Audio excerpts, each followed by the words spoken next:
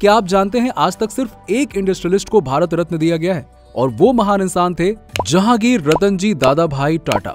ये सम्मान लेते वक्त जेआरडी टाटा का एक ही सवाल था, आखिर मुझे ही क्यों? TCS, Tata Motors, Tata Salt, Titan और वोल्टास, ये सब इन्होंने ही शुरू किया था। एयर इंडिया के रूप में भारत की पहली कमर्शियल एयरलाइन और भारत का पहला nuclear institute Tata Institute of Fundamental Research दोनों ही जेआरडी टाटा की विरासत में शुमार है। जिस एयर इंडिया को हाल ही में टाटा ने इंडियन गवर्नमेंट से खरीदा, उसको जेआरडी टाटा ने सवारा था। वो एक इंडस्ट्रियलिस्ट नहीं, बल्कि आधुनिक भारत को बनाने वाले नायाब कारीगर थे। जेआरडी टाटा के लिए वीडियो को लाइक ज़रूर करना। अपने बिज़नेस को ऐसे ही ऊंचाइयों पर लेकर जाना चाहते हैं तो डाउनलोड कीजिए ब्रांड्स डॉट लाइफ